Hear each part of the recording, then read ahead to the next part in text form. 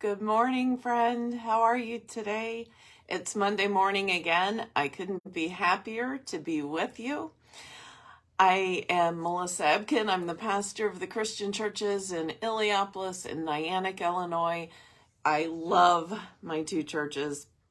I'm also the host of the Pursuing Uncomfortable podcast, where we share stories of people who have overcome difficult and uncomfortable situations so they can inspire others to do the same.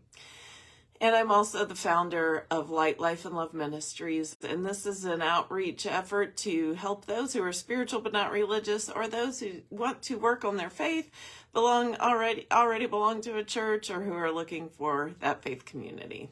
So today I want to get personal. Today I want to talk about prayer not about just praying, not about setting time to, aside time to pray, although do that, but I want to talk about praying with other people. For some people, this comes very naturally. Don't think a thing about it. If a friend is in distress, you just start praying with them. And that's great.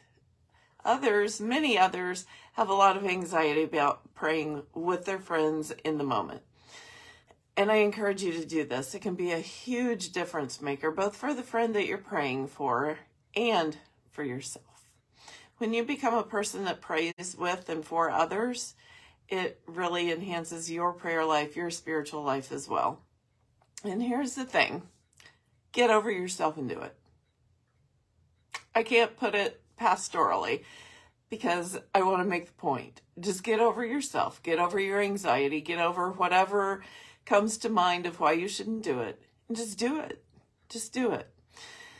You're not going to pick the wrong words. And if you do, who cares? I mean, has anybody ever prayed for you before? I hope so. I hope somebody has prayed with you before. If not, reach out. I'll come over and pray for you right now. Um, but people have prayed for you, I'm guessing. Do you remember what they said? Probably not. Have you ever had someone pray with you and then thought later, boy, they're terrible at this. That they stuttered and no, we don't think that. We or on the other side, have you ever thought, wow, that was really eloquent? No. We don't remember those things. We don't remember the words they used. All we remember is they prayed for us and it made a difference. In that moment, it made a difference. Beyond that moment, it made a difference. Be a person that prays for others and don't worry about what to say. It doesn't matter. It doesn't matter if it's eloquent. It doesn't matter if you stumble all the way through it. It doesn't matter. Just do it. You want a couple tips? I can share a couple tips with you. One, call God something. Start out your prayer, Dear God. A lot of people use Father. If you like the mother imagery of God from the Bible, start out with Mother. I just figure out, call God something. Hi, God. Yo, God. Hey, God. Heavenly God. Whatever. Just call God something. And then just start talking about what you feel. There are times when someone has been in great distress, and I usually ask people what they would like me to pray for because I think, you know, people get to pick what they want to pray for. If somebody's going to pray for me you know, pray for the thing that's really on my mind. Let me tell you what that is. Me articulating it to you does something for me and for you. It helps you out and it helps me to put words to it. So ask them what they would like to pray for. And if they're just overwhelmed and have no clue, just start talking about how much the situation stinks. I find that the most authentic prayers are the best.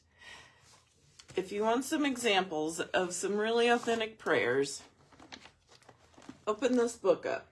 Open up your Bible to the Psalms. There are 150 examples of people just saying, This stinks. And sometimes that's how I pray with people. I say, God, this really stinks.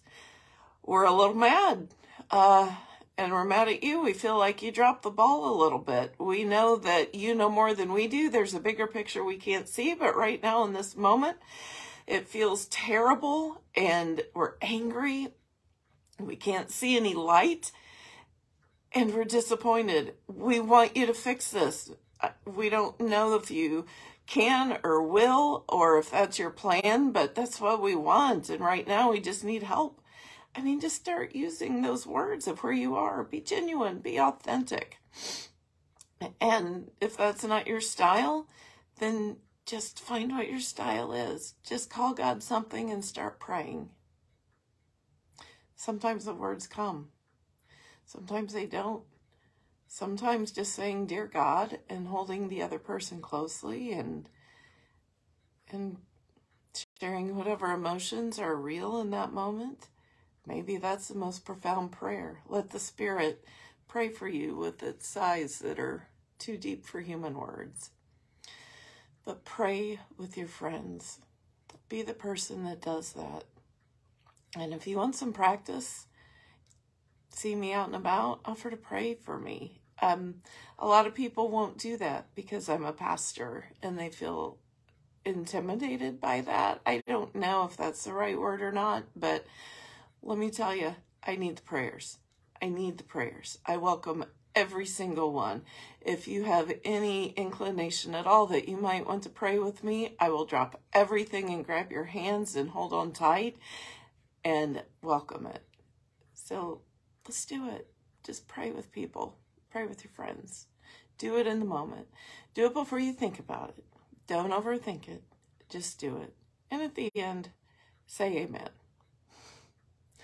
That's what I have for you today. This is a short little talk, but it's a powerful one, and I hope you start doing it. And I challenge you this week find someone, find one person or more, but find at least one person. Pray with them to start. Who knows? Maybe you're going to be good at it. Maybe it's something that you love to do.